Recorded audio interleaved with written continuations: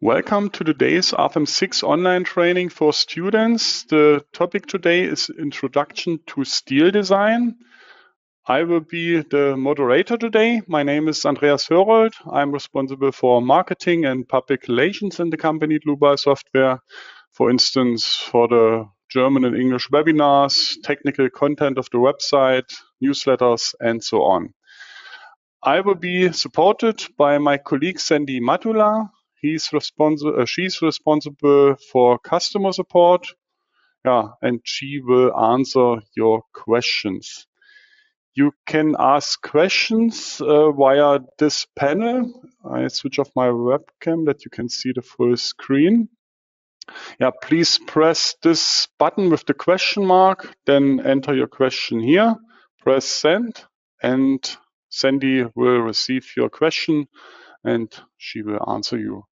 The other way is to watch the entire online training and then email your questions to info at dlubal.com. That's the content today. At first, I say something about the theoretical background. Then we turn to an introductory example, a two-span beam.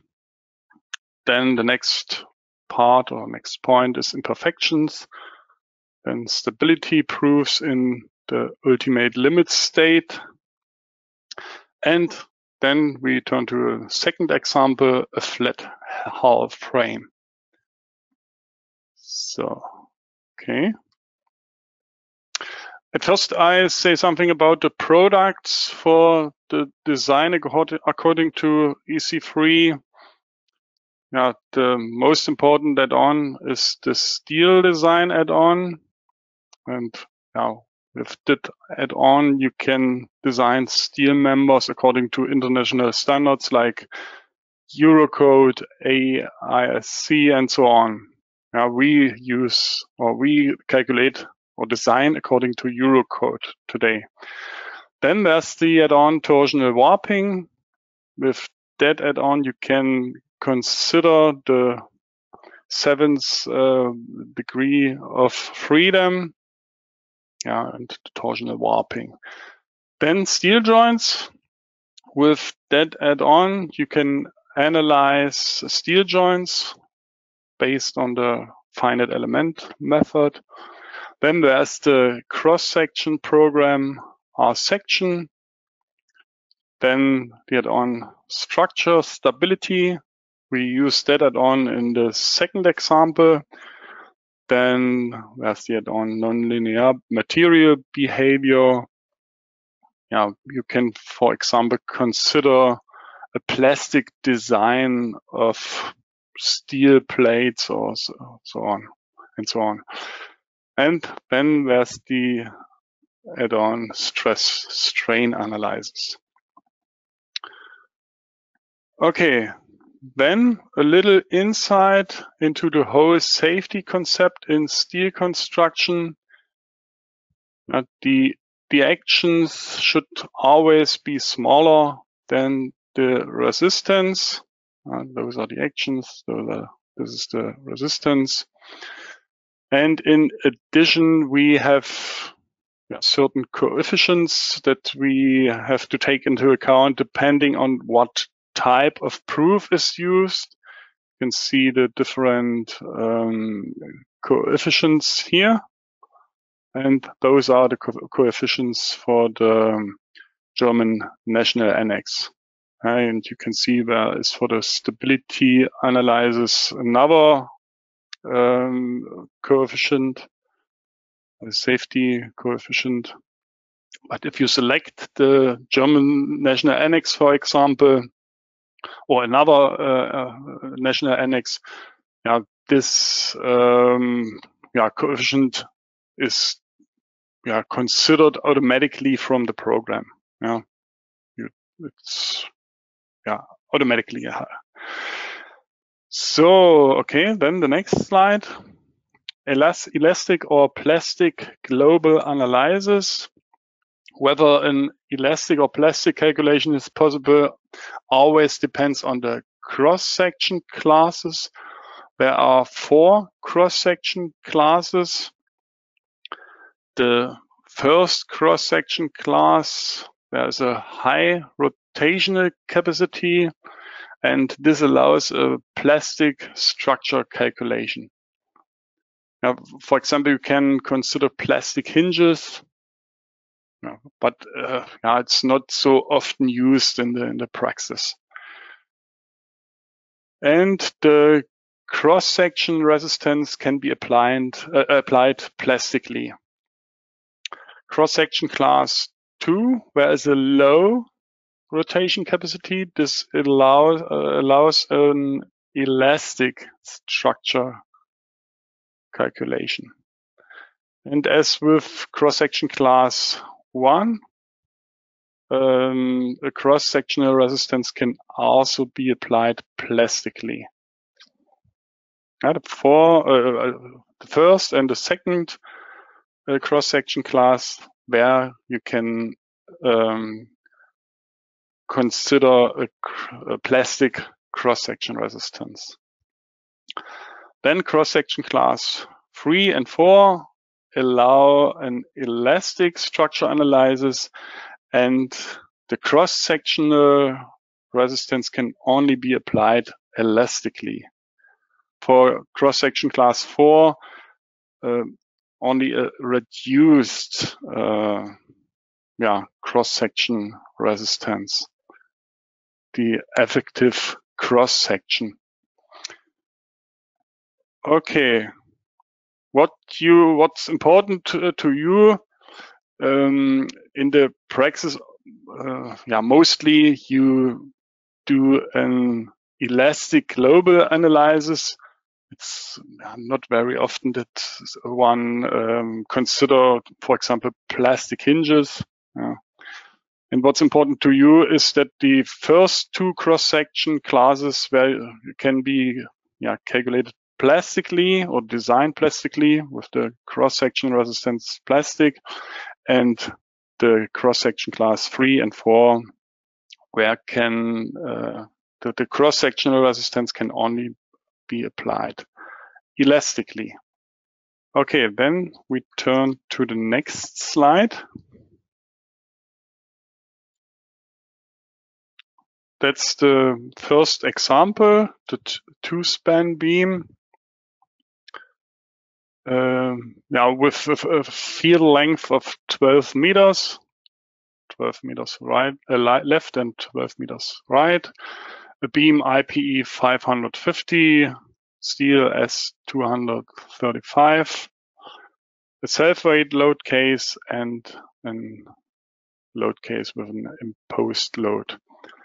And we will yeah, calculate or do a cross-section classification, cross-section design checks. Yeah, the different between the difference between the elastic and plastic cross-section resistance. Uh, we uh, take a look at the design checks, elastic, elastic, and elastic plastic. Okay, I turn to RFEM. That's the second example. It's already prepared. But for the first example, I um, yeah, model the complete model or the complete structure. File new. So I enter zero one two span beam. Okay, then type of model 2D is sufficient. We consider only members, but you can also select surfaces, that doesn't matter. And we select the steel design add-on. Okay, then we need to select the standards. You can see there are for the load cases classification and the steel design, different international standards. We select the Eurocode. And for uh, today, we are in Germany here, we select the German National Annex. Okay. we don't use the load wizards, but we yeah, use the load case classification and the steel design. we leave the dialog with OK. So I turn to the view minus Y. Move it a little bit. So the grid is one meter. I leave that. If you want to change that, you can click on this here uh, at the bottom, display grid, right click and then edit. And you can change the space for the grid points. So I start with the beam, left above, new single member. I need to define a section, yeah, create new section. I turn to the library, left above, an I-beam. Uh, if I am too quick for you, uh, yeah, that doesn't matter. There is a recording when you want to enter the structure by yourself. You can use the recording and the finished models. Yeah, and the next days you will get an email with all with the recording and the models and so on the PowerPoint slides. Just take a look what I show. That's sufficient. Okay, I select uh, IPE 550 and right at the bottom I open the material library and I select uh, European Union, steel, carbon steel. Uh, there are a lot of steel Uh, materials. I use the steel material S235. Okay, you can see now the color is blue. That's okay. So I create a member with a length of 24 meters and I divide the member in the middle with right click, members, and divide member and intermediate nodes. One intermediate nodes and that I yeah, create a node without dividing the member, I select this option here, create on member nodes without dividing member. Okay, there's the node. So then I create the supports. Here left above, assign nodal support.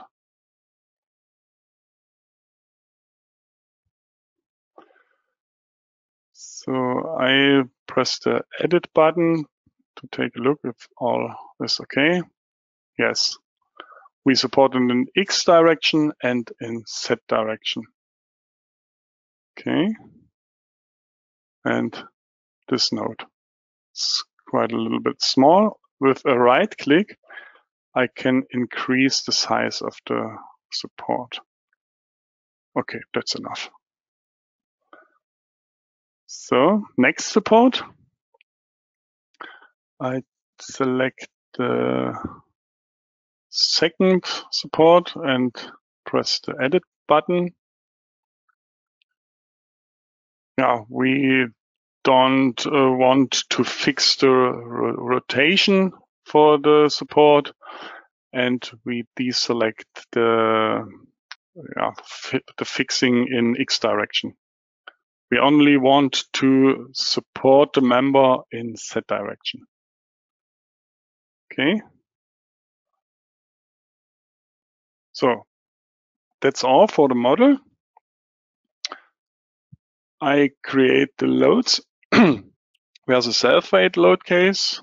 I select the edit active load case. The self-weight uh, load case is automatically created yeah, for every model. So, and you can see also the self weight of the structure is activated. Yeah, that's correct in our case. So, and above here, this button new member load. And our load should be a force, uniform. You can see there are yeah, different options. And the load direction should be in Z direction, uh, in this direction. So and the load magnitude should be 8 kilonewton per meter. Okay. So then I create a new load case with that button. I call it imposed load. And I select the action category not permanent, but imposed loads. Okay. Okay. Then I have to create the load for this load case, new member load, and this time 12 kilonewton per meter. Okay. That's all for the model and for the loads. I open the load cases and combinations dialog again, this time over the navigator data with a right click. Load cases and combinations. Where are the base data? Now, at the beginning, we selected the standard group Eurocode and the German national annex, and we activated the combination wizard. Those are my two load cases we've got only two uh, actions. Yeah, that's quite important when you have, for example, four wind load cases. Then there's only one action for the wind load cases. And yeah, you can uh, combine in the load combinations either wind in minus X or wind in plus X and so on. Okay. So then there are the design situations. We would like to yeah, design only according to ultimate limit state. That's why I delete the design situations for the serviceability limit state. And what's important, we need to activate the steel design. So, and there are only two load combinations. And if I turn back to the design situations and to the overview, where only or where are assigned these two load combinations for the yeah, design situation ultimate limit state design. So then we can calculate all, also the steel design.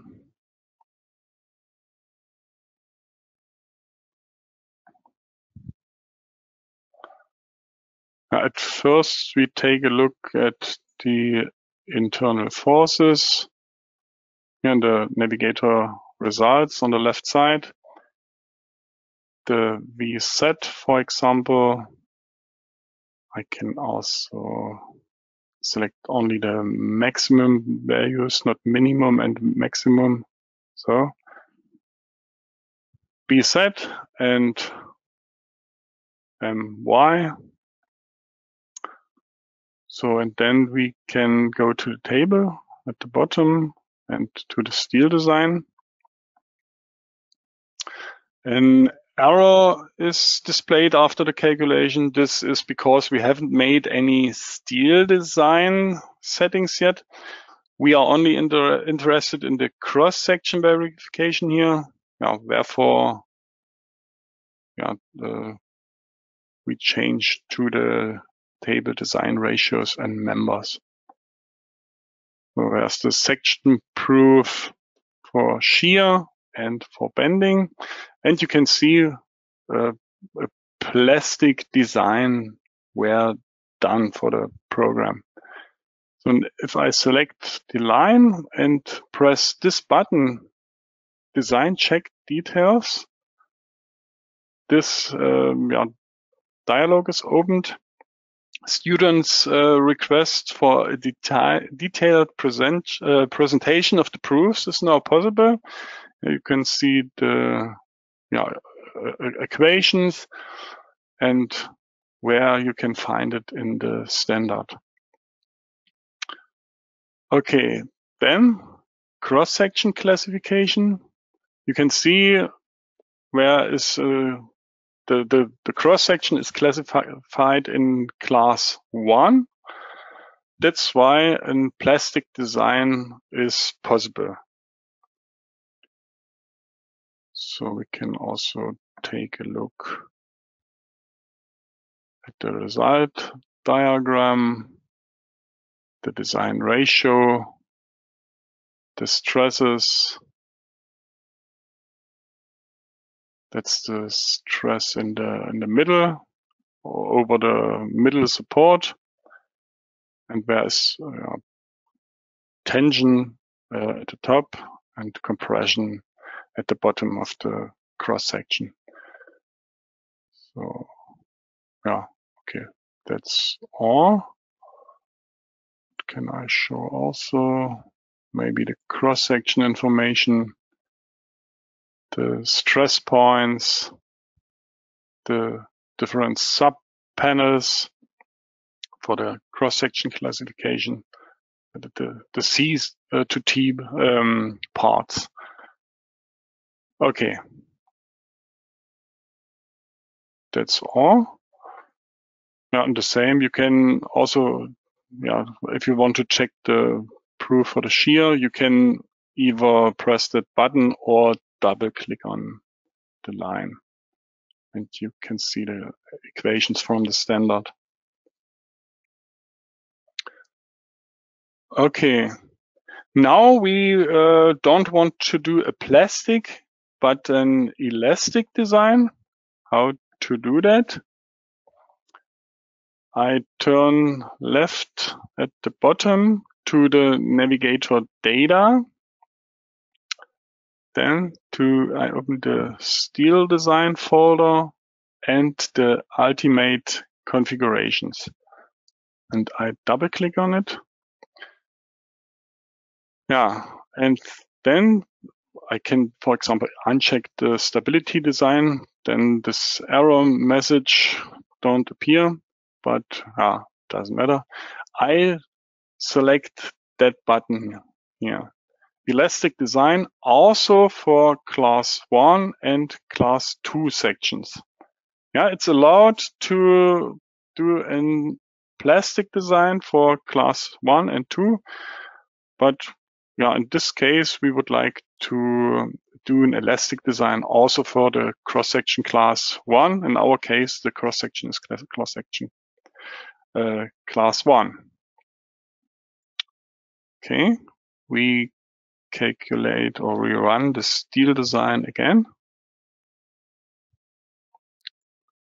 And I select design ratios and members.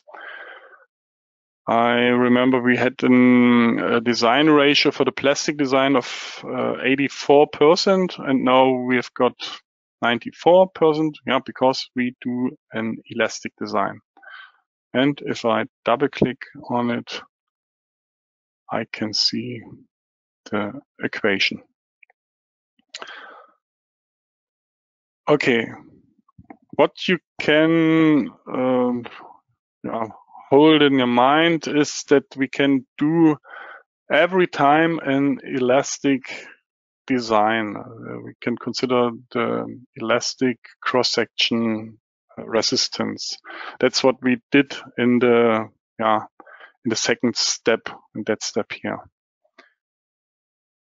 Yeah, so we have now learned how to carry out a cross-section check and how to take the elastic and plastic design into account. Yeah, at first the plastic design, at in the second step the elastic design, because elastic design is allowed for all cross sections. And in addition, we now know how to display the design formulas and compare them with our own manual calculation. Then to then we turn to the next topic for today, effects of deformed geometry of the structure. In the first training course, Introduction to Member Design, it was learned how the results can differ between the calculation according to the first order theory and uh, the geometrical linear analysis and the second order theory. Yeah, the geometrical linear analysis is an uh, equilibrium formation on the undeformed system. And the second order analysis is an equilibrium formation on the deformed system. Yeah, in, in this example of the uh, cantilever column, this effect can be seen very well on the basis of a slender, that's the slender and a, and a compact cross section in the case of the slender column, the increase in the bending moment at the foot point is much larger than in the case of the compact column. If one calculates according to the second order theory. And there's no difference when you apply the geometrical linear analysis. So, and for steel construction, there's a value that defines when a structure should be calculated geometrical linear or according to the second order analysis. If the critical load factor alpha crit is less than 10, the system must be calculated according to the second order uh, analysis. And in this case is, is written in this in that way, alpha crit larger than 10, then it's sufficient to apply the geometrical linear analysis for an elastic design. And if you want to do a plastic design, the alpha crit must be, uh, if that is larger than 15, then you can also design according to geometrical linear analysis. Okay. So then the next point is the equivalent geometric imperfections. Imperfections are also closely related to this topic. Here we have the imperfections in Eurocode 3, and these are generally grouped together as an equivalent geometric imperfections. Yeah, maybe first of all, what are imperfections anyway? Imperfections are yeah, production related deviations in the model geometry and or in the um, material properties. Yeah, on the one hand, uh, there can be real misalignments in classic hall constructions or, or tolerances in production especially when rolled sections are used. Uh, and these imperfections can be summarized as equivalent geometric imperfections. And on the left side of the graphic, you can see the initial sway, the global imperfection that can be applied to the structure. And if individual uh, components are yeah, to be examined more closely, where is the local equivalent imperfection, for example, over an initial bow imperfection.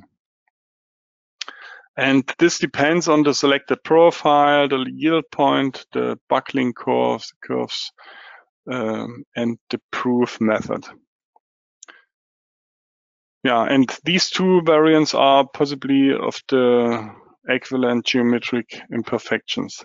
Another alternative is pre-deformation, which can be calculated with the help of stability analysis. The respective uh, governing eigenmode is scaled and applied as an imperfection. That's not so often used, but it's possible the uh, what you often use is the initial sway imperfection or the initial bow imperfection or both. That can you see in a uh, later slide. When designing steel in RFEM, three different stability analyses are carried out. On the left side, there's the classic flexural buckling as a lateral deflection. Then in the middle, you can see the torsional buckling in a yeah, pure tension. And on the right side, the lateral torsional buckling is a combination of the two previous proofs. Okay, methods for stability analysis. There are three methods. Uh, method A, you have to apply a global and local imperfection, and the structure analysis should be done uh, with the second order analysis. And then you can do the cross-section design checks yeah, with the internal forces. Method B, global imperfection, yeah, means uh, only this initial sway imperfection. So, and then the structure analyze according to second order analysis. And what's quite important, uh, you have to consider the um, the buckling length by the member length, not with a factor. SK is uh, is equal length. Okay, then method C, structure analysis according to geometrical linear analysis on the ideal structure, but in that case with the real buckling length. Okay, yeah, and important to method C is the um, structure component design can be carried out for flexible buckling with the internal forces according to the geometrical linear analysis, which were determined on the ideal stru structure without the use of imperfections. Yeah. But in that case, here for the frame, only uh, for the columns.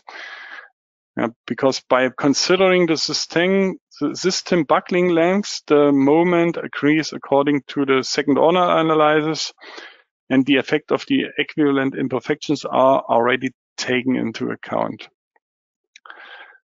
But uh, that's also a sentence in the Eurocode uh, for, for the design of the lateral uh, torsional buckling the application of the second order analysis is also required with that method. Now, if, if you want to do an uh, lateral torsional buckling design for the horizontal beam, then you need also for this method to calculate according to second order analysis.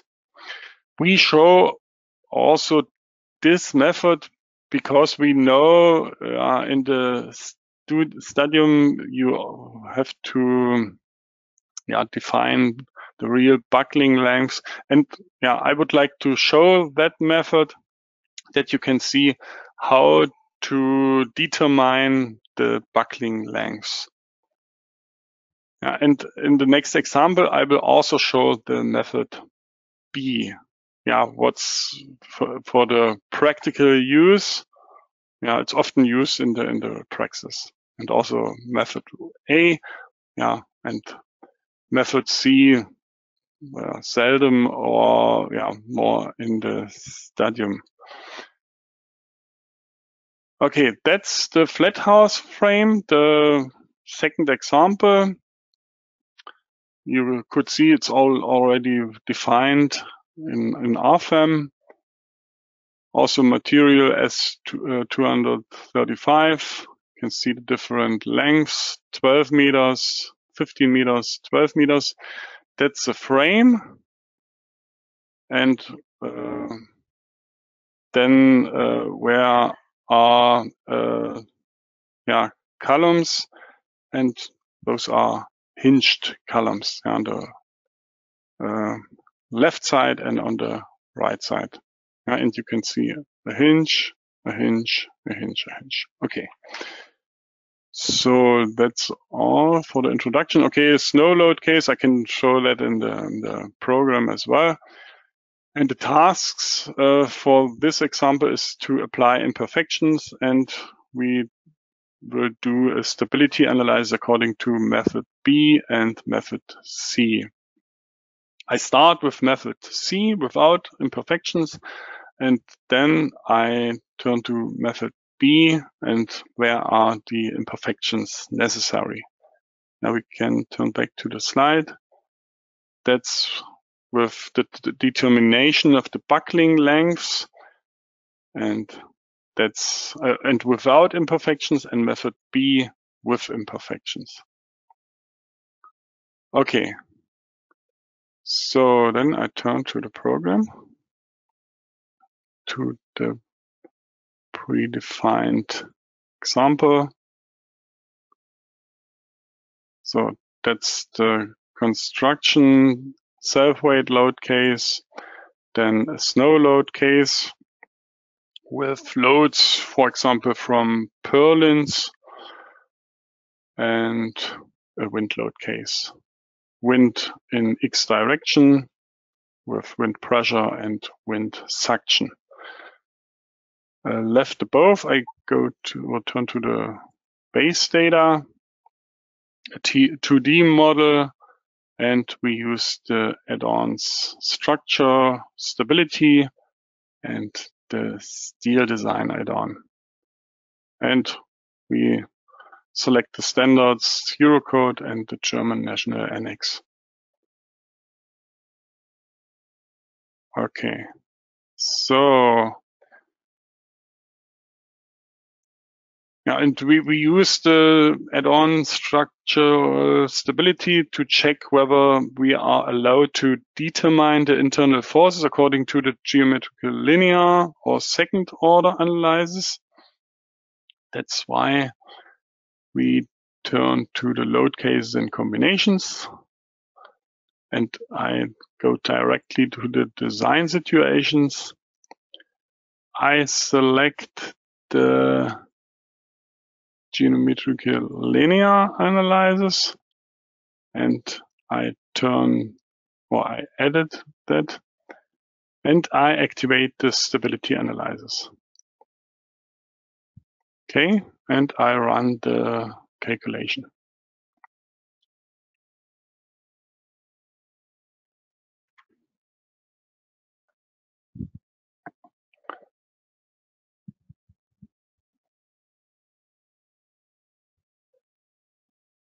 So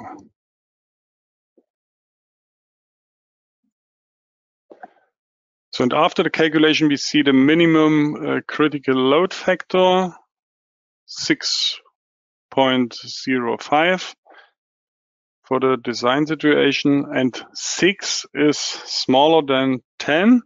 Yeah, we need to do a stability design by using the second order analysis. Yeah, but what I already mentioned for the stability design using the classic equivalent BARM method, uh, means method C, the internal forces can be calculated according to geometrical linear analyzing and yeah, buckling lengths must be assigned to the columns. Yeah, uh, but for the design of the lateral uh, torsional buckling, the uh, application of the second order analysis is also required with this me method. That's why I switched to the second order uh, analysis. For the columns, yeah, we can we consider then the effect, yeah, twice. Yeah, one time with the second order analysis and with the real buckling length. But we need to do um, the second order or need to apply the second order analysis because of the horizontal beam and the lateral torsional buckling. So, but let's take a look at first to uh, to the buckling length. I turn to the uh, stability analysis. So, and then results by member. It was a, a combination number three. So, and then I can see the effective lengths and critical, critical loads by member. So this column has a, an effective length factor of three. This column, yeah, we apply also three for this column. And for the left and the right column, 1.72. Okay. So I turn back to the design situation and we run uh, or we, we use the second order analysis. Okay, that's okay.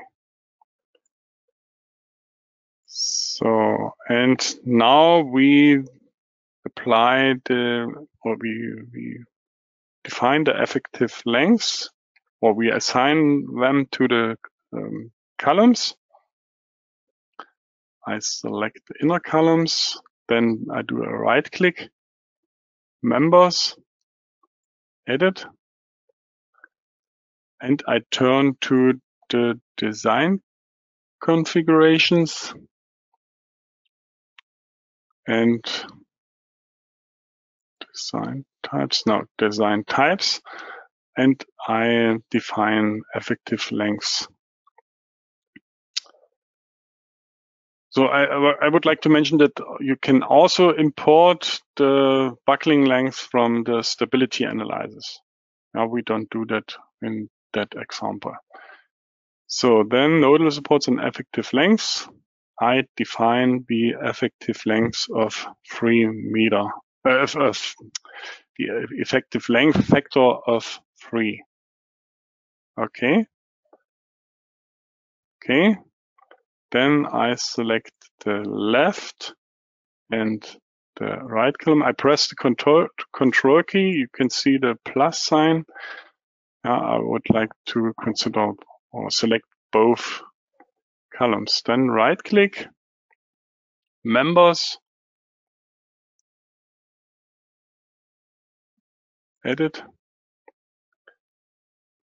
The same procedure, design types, effective lengths, and 1.72. Okay. And you can display the um, effective lengths. Then we go to the dis navigator display. Then types for steel design, and I select member effective lengths. And you can see the factor 3 and 1.72. So then I select the inner horizontal beam by right click, members, edit,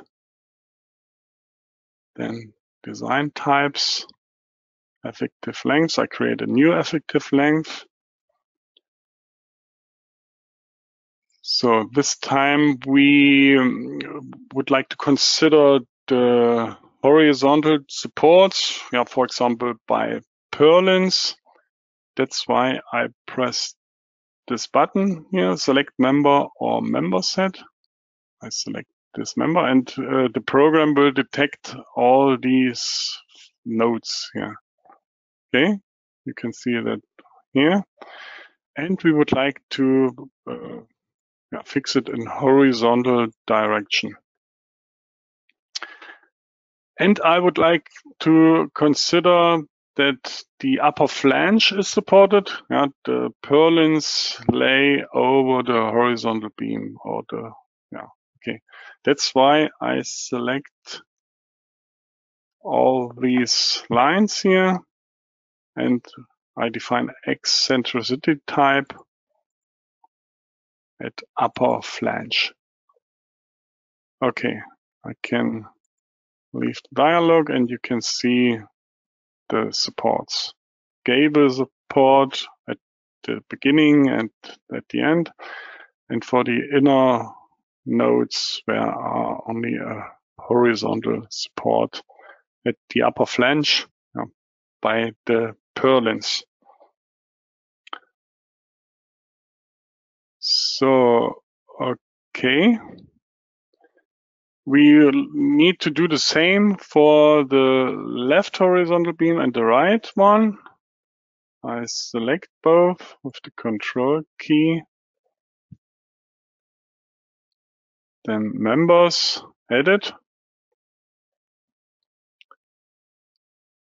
And I select the same uh, effective length uh, as for the middle horizontal beam. And you can see the program detects automatically that there are only three nodes. You can see three nodes are supported and four nodes. Okay, then we can run the calculation. I turn to steel design and press this button, show results and the calculation starts.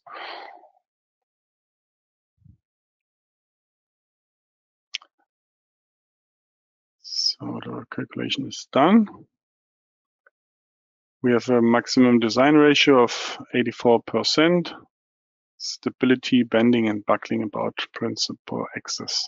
So I can double click on it and you can see the design checks yeah, the equations and where you can find it in the standard.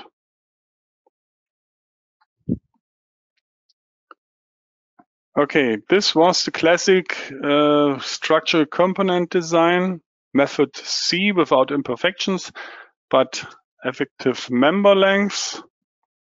Now we want to examine the model using the approach of global imperfections and the structural component design method B. I turn back to the PowerPoint. We did method C yeah, with the effective member lengths and without imperfections. And now we define imperfections and I delete the effective member lengths for the columns. We say we consider SK equal member length. Okay, I turn back to the program. Left at the bottom, I go to the or turn to the navigator data, then types for steel design, effective length, or I let me save that state, save as, out results. So without imperfections. Okay, I overwrite it. So, and now I delete the effective member lengths for or the buckling lengths for the um, columns. Delete. Okay. And in the second step, I need to define imperfections. So above here, that button, new member imperfection. I have to create an imperfection case in the first step, imp X. We have got imperfections and imperfection cases. You can consider more imperfections in one case. Yeah, that's why we have imperfection cases and imperfections. That's the case. Okay. And now we create the imperfection for that imperfection case. We define an initial sway define type is Eurocode 3. In the imperfection direction is Z, uh, in the strong axis. Then the basic value is 200. I can measure the structure height.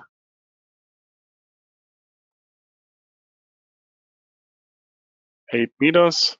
Number of columns in one row. Those are four. Yeah, and the reduction factors uh, are calculated automatically. Okay, and I need to assign it to all four columns. And to display it, I have to Uh, press this button above, show imperfections. So, and now we can run the calculation. Or before I do that, I take a look at in the design situation, your second order analysis or second order, yeah, second order analysis. And it must be checked that the program considers the imperfection cases. Okay, now we can calculate all.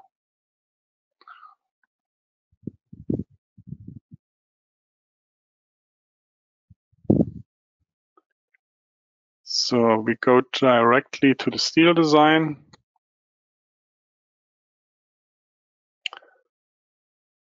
So design ratios on members. Yeah, and you can see the design ratios. With the, with the method C, we had a design ratio of 84%. Now we've got 86%. That's quite similar, you know, different methods. Okay. Yeah. That should be all for today. Yeah, we yeah, you learned in the second example how you can apply the method C in the, in the first step and then with imperfections with the method B in the second step. Yeah, and as I already mentioned, you will get an email in the next days with your attendee certificate. And then you can watch the recording if you want. You can download the um, models that I saved. Yeah, I hope you could learn a little bit in this online training. I still have an additional hint for you if you would like to do your internship in our company or you like to work as a work student or you would like to start your career after your study yeah, in Tiefenbach, Leipzig or Munich, then yeah, we, you are welcome. You can press that link here for more information or you can uh, scan that QR code to yeah, reach the career page, uh, page on our website. Yeah, just do it. Okay, that should be all for today. I wish you all a nice rest of the day. Thank you for your attention. Thanks to Sandy for your support. Bye bye.